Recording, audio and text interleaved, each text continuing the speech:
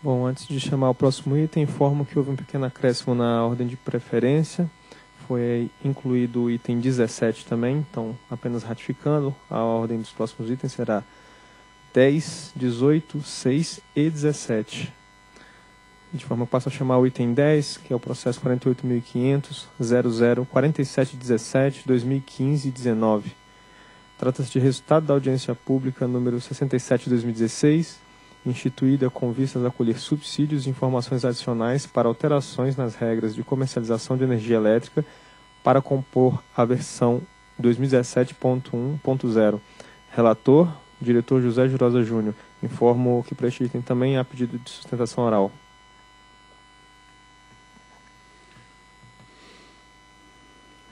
que aguardar abrir aqui a boa vontade do, do Word abrir. E, pelas resoluções normativas 428, 456, 2011, 411, 2012, 433, 500, oh, 533, 551, 578, todas de 2013, 601, 619, 670, 637, 2014, 684, 15 e 709, 16 foram aprovados e revisados os 24 módulos que compõem as regras de comercialização de energia elétrica. E a fim de adequar e aperfeiçoar e ajustar as regras de comercialização, a partir de janeiro de 2017, a versão 2017 1.0, a CCE encaminhou as cartas é, citadas, por meio dos quais apresentou os módulos listados no quadro 1. E aí são esses módulos de medição contábil, mecanismo de realocação de energia, contratos, comprometimento de usina, consolidação de resultado, penalidade de energia, cálculo de desconto aplicado a TUS e a TUS, e reajuste dos parâmetros de receita do contrato de comercialização CCAR, né, receita de venda CCAR, contratação de energia de reserva, MCSD, votos de contribuição associativa, alocação de geração própria, regime de cotas garantia física de energia nuclear e reparo do risco hidrológico no ACR e glossário nos termos, nos termos. E em 5 do 10, 16, a CRM analisou as regras de comercializações propostas pela CCE. Em 11 do 10, 16, esse colegiado decidiu, decidiu pela instauração da audiência pública número 67 por intercâmbio documental no período de 13 do 10 a 11 do 11, de 16 objetivando colher subsídio para elaborar um ato regulamentar para aprovar os 16 modos de regra de comercialização. E as contribuições encaminhadas na audiência pública 67 foram avaliadas e consolidadas pela SRM, consta da nota técnica 281 do dia 14 do 12 e em 26 do 9 é, a matéria veio a minha relatoria, é o relatório.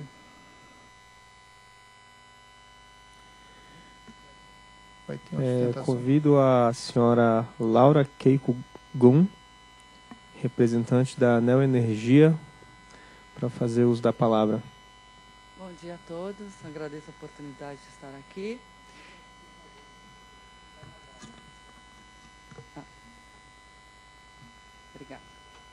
Bom, a contribuição da Neoenergia foi na repactuação do risco hidrológico na CR.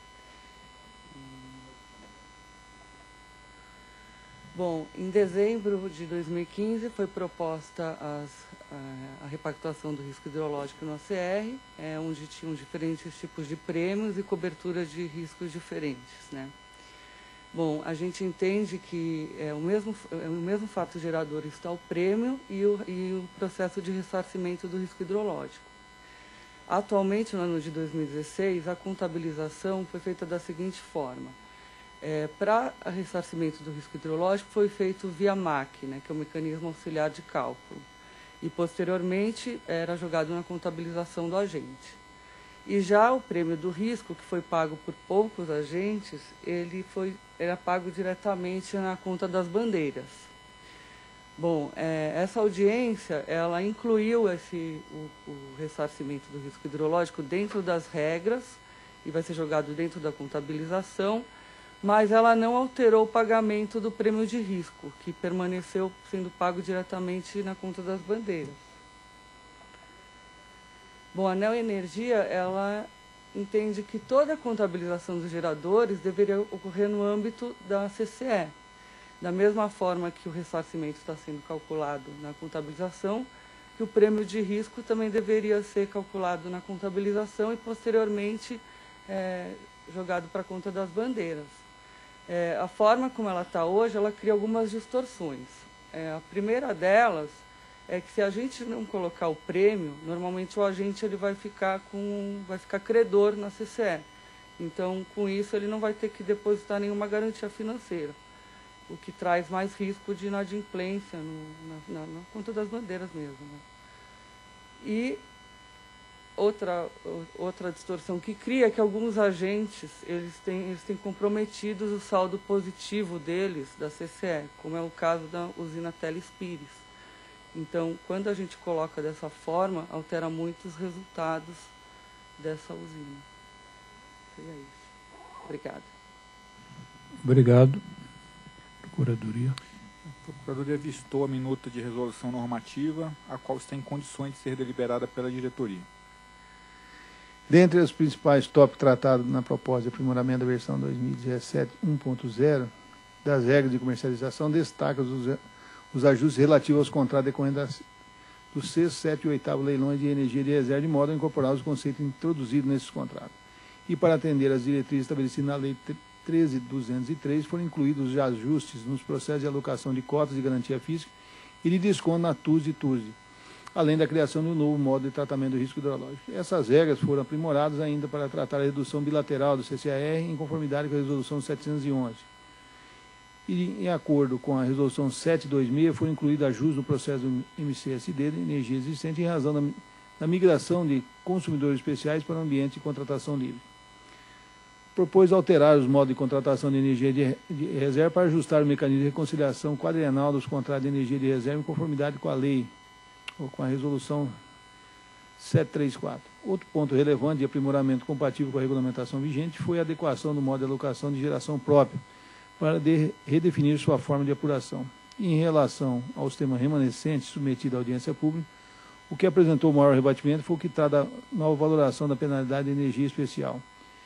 Assim, a P67 recebeu 95 contribuições das seguintes instituições: a Beólica, a Biap, a Brace, a Bracel, a Brage, a Bragel, a S Brasil, a Pine, CCE, Celeste Distribuição, Cogem, Copel, CPFL Energia, CPFL Energias Renováveis, EDP, ESD, Enel Green Power, é, Furnas, é, Neoenergia, Petrobras, São João Energia Ambiental e Única, além da Votorantim Energia Limitada. E os detalhes e o exame das contribuições com os da nota TEC 281. É a tabela 1 apresenta o resumo do eu, resultado da análise de contribuições. Aceito foi em torno de 15%, parcialmente aceito 1%, não aceito 74%, não considerado 3% e já previsto 7%. E as principais contribuições encaminhadas na AP foram divididas nos seguintes temas: alteração das regras para o cálculo de desconto aplicado na TUS e a TUS, redução bilateral do CCR no que trata a resolução 711 e a nova valoração da penalidade de energia. Quanto à alteração das regras, o artigo 26 da Lei 9427 passou por alterações promovidas na Lei 13.203, 13.299 e, por fim, na 13.360. E o referido artigo concede a redução não inferior a 50% a ser aplicada às tarifas de uso do sistema elétrico de transmissão e distribuição, incidindo na produção e consumo de energia às fontes hidráulicas, eólicas, solar e biomassa, conforme critério de condições estabelecidas. Em suma, a comercialização de energia na na condição de incentivado ou convencional e especial ou não especial, para ser viabilizado segundo critérios associados à fonte, primeiro, à potência injetada e também à data de participação no leilão, autorização a partir de 16. E cabe ressaltar que as tarifas TUST e, e TUSD são aquelas relacionadas ao uso das redes de transmissão e distribuição para o transporte de energia no Sistema Interligado Nacional. Quanto às tarifas não cobradas para que são cobrados para remunerar as transmissoras distribuidoras pela disponibilização dessa rede e são calculados considerando o custo dessas instalações e os montantes de demanda contratados no período de referência, que deve expressar a máxima potência injetada ou consumida.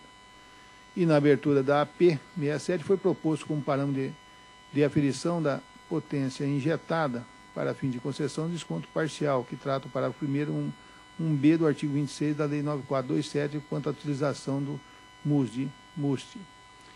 Quanto às regras algébricas no modo de cálculo do desconto aplicado a TUS e a TUS, o fator de proporção do MUSD MUST é utilizado na determinação dos valores de garantia física com desconto, que por sua vez é o recurso do agente associado ao respectivo percentual de desconto para comercialização de energia incentivada. Várias instituições apresentaram contribuições no sentido de que o uso do MUSE, MUSE como parâmetro para aferição da potência injetada, não é adequado, uma vez que a contratação realizada pelos agentes pode estar superdimensionada para evitar penalidade e ultrapassar na contratação. Assim, justifica que o montante de uso contratado não reflete a potência injetada das usinas. Alegam que a regra proposta pode prejudicar ou penalizar as usinas pela redução da garantia física com direito ao desconto e estimulará a subcontratação da rede. Argumentam ainda que a proposta excede ao estabelecido na lei, uma vez que a legislação que se refere no termo potência injetada no sistema e não ao montante contratado. A ICRM entende que a na regulamentação do artigo 26 da Lei 9427 não é razoável, conforme proposto pela instituição, a utilização de uma metodologia para a produção a ser aplicada às tarifas dos geradores e outra metodologia a ser aplicada somente na comercialização de energia incentivada e, consequentemente, no consumo. Porque a contratação do uso das instalações de distribuição e transmissão é responsabilidade dos agentes. Portanto, o seu eventual superdimensionamento prevento evitar eventuais penalidades e a sua consequência no valor do desconto é fruto da gestão do agente no momento de contratar o uso do sistema. Ainda na avaliação da SRM, aplicar essa proposta de, da instituição na produção poderia resultar na concessão de desconto completo de uma contratação superdimensionada de valor superior a 30 megawatts contratado, o que é limitado por lei.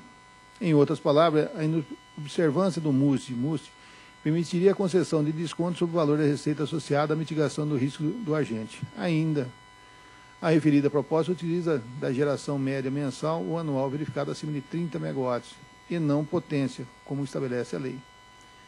Os valores contratados de uso pelos agentes são utilizados para fim de definição das tarifas de TUSD e TUST, assim como o planejamento e otimização do sistema de distribuição e transmissão de forma a atender a disponibilidade demandada pelos agentes.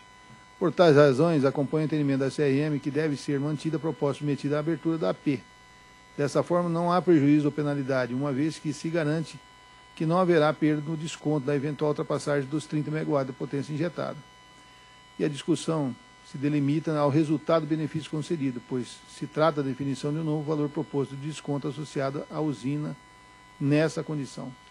Além disso, considerando as avaliações referentes à contratação do uso, entendo que o MUSD e o MUSD não devem ser o único parâmetro observado no fator de redução da garantia física para fins de desconto da TUSE e da TUSE, das regras de comercialização. Deve-se observar ainda a maior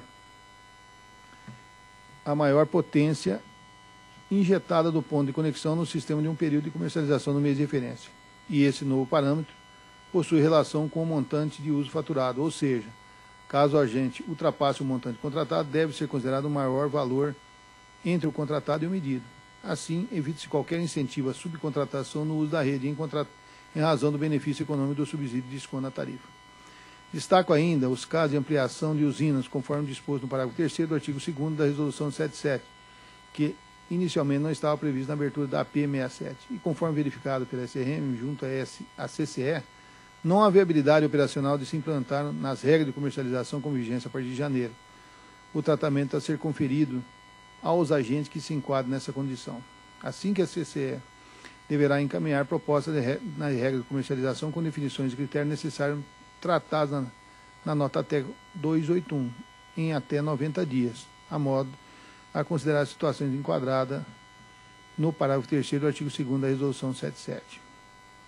Houve ainda contribuições referentes à necessidade ou não de emissão de um novo ato de outorga de modo a compatibilizar os agentes os atos vigentes com o disposto no parágrafo 1b do artigo 26 da Lei 9427, que concede desconto parcial para as respectivas usinas que ultrapassarem os 30 megawatts de potência injetada. Entendo não ser necessária a compatibilização de atos de outorga dos empreendimentos que já possuem a concessão de desconto, mesmo que nesse ato especificado que o desconto se aplique até a potência injetada de 30 megawatts.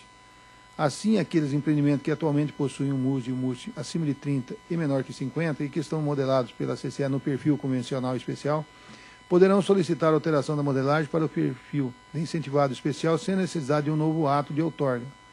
Contudo, os demais empreendimentos que não possuem qualquer menção ao desconto da TUS e TU deverão necessariamente solicitar a emissão de um novo ato de outorga conforme já aprovado na Resolução 77.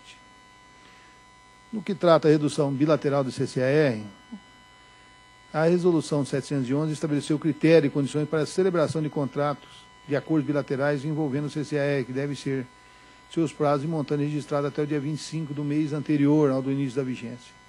E sua proposta de operacionalização consta nos cadernos da regra de 2017. E no que tange especificamente os contratos regulares de energia eólica com compromisso de entrega anual e quadrenal, identificou-se a necessidade de que a, as regras preverem o tratamento a ser dado no excedente de energia no caso novo comprometimento anual, seja inferior à energia já entregue ao contrato. Para facilitar o entendimento, a SRM apresentou como exemplo um gerador eólico hipotético que possui um CCR com início suprimento em janeiro de 15 e um montante anual contratado de igual a 100 megawatts. Ora, conforme o contrato, toda geração realizada acima do limite com saldo acumulado anual será liquidada em nome do agente, podendo ser comercializada no ACL caso o vendedor possua lastro ou valorada PLD. Então, a tabela 2, eu mostro esse esse saldo acumulado, o limite anual de em 2015 um, tal, um saldo de 30%, ou seja, 130 megawatts. Ora, em 16 um, um saldo de 20%, então 120 megawatt hora, 17 10%, 110 e 18 aí no saldo zero. Supondo que o agente gere 110 em 15, 70 é, e 70 megawatts em janeiro e junho de 16, ou seja, em junho de 16 apresentar um montante entregue ao contrato igual a 80 megawatts, conforme aí o exemplo do saldo acumulado.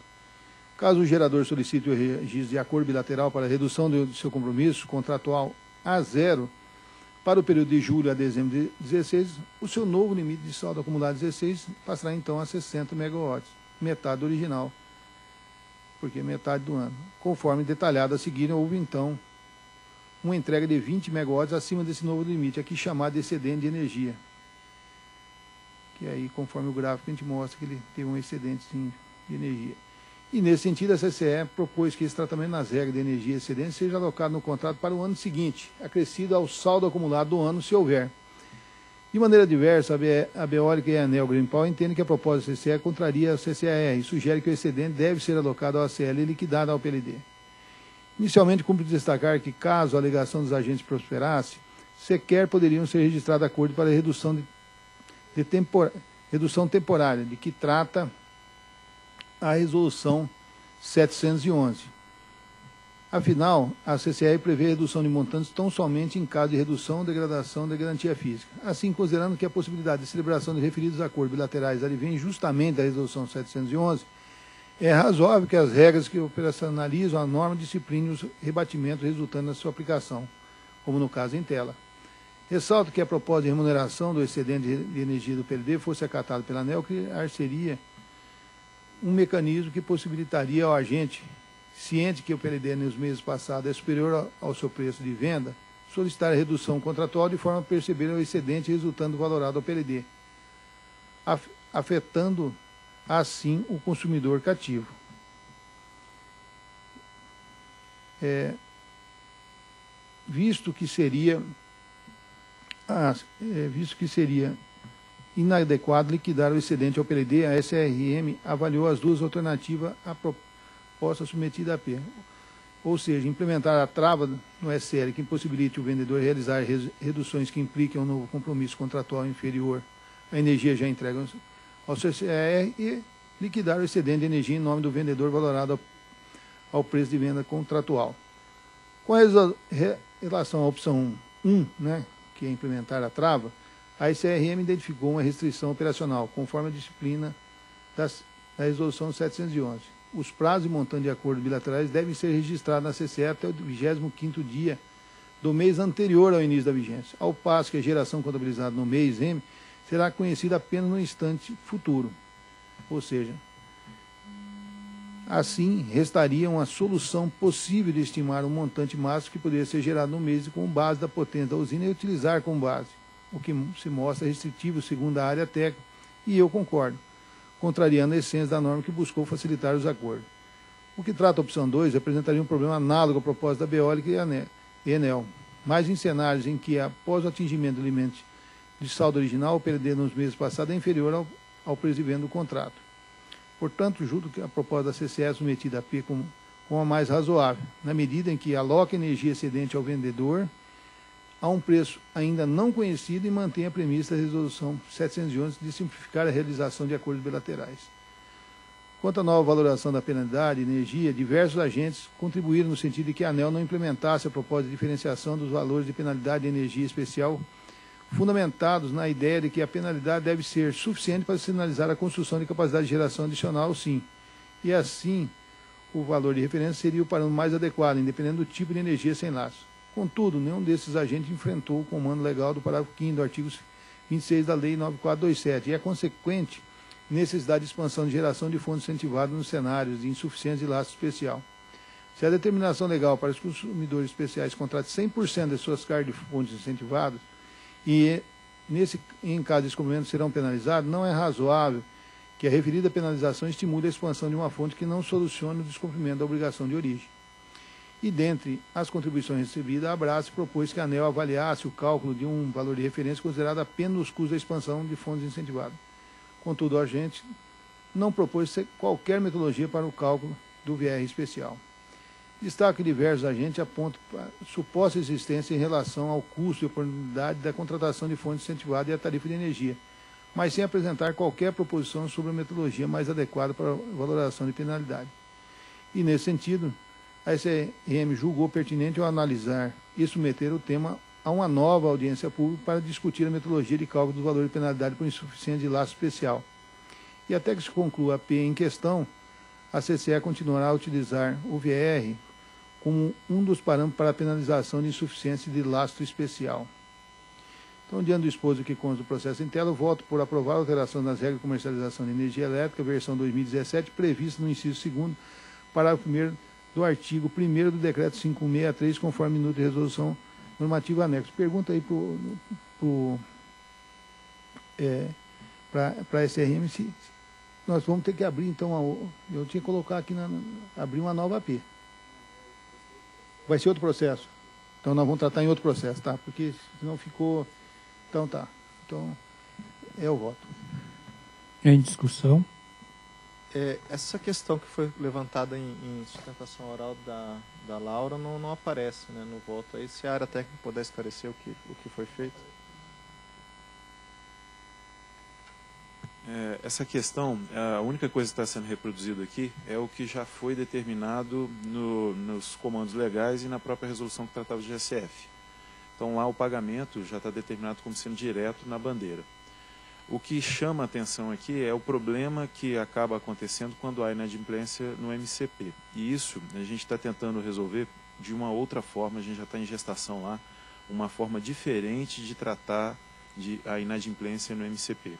Então, é óbvio que o ideal é que não haja inadimplência, mas sempre que houver, a gente está pensando numa maneira diferente que ajuda a resolver, inclusive, o problema que é, o pessoal da Neoenergia trouxe.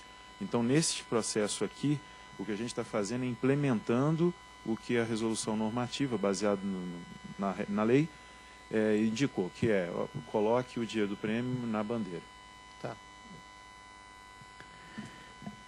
É, eu só é, esse, isso que o Júlio comentou, só queria enfatizar. Claro que temos que ter uma como tratar uma eventual inadimplência. Né? Eu sei que já está sendo tratado essa questão, explorando um pouco mais, ver se os próprios. Aí eu estou falando do ambiente de contratação de um modo geral, tanto no curto prazo, como nos contratos bilaterais, contratos regulados. É, nós então estamos revisitando esse tema, porque de fato que não pode existir e, e, começa a incomodar, porque isso tem se avolumado, é a inadimplência nessa cadeia de obrigações. Né? Tem o colocado aqui, eu sempre enfatizo que isso é um pilar do, do modelo. Então, essa segurança de que o fluxo de pagamento ocorrerá, nós temos que revisitar. Acho que está sendo colocado em xeque os mecanismos de garantia que acaba que não está conseguindo cumprir na plenitude a sua, a sua obrigação, que é assegurar, não é, é tem que assegurar o fluxo de pagamento. É essa questão eu acho que assim, para para 2017 tem que estar no nosso radar como talvez uma das principais preocupações em de fato resolver isso, porque isso acho que depende fundamentalmente de aprimorar tanto os contratos como os mecanismos de garantia que de alguma maneira está na alçada da ANEL tratar. Eu só reforço esse entendimento, de fato é a prioridade.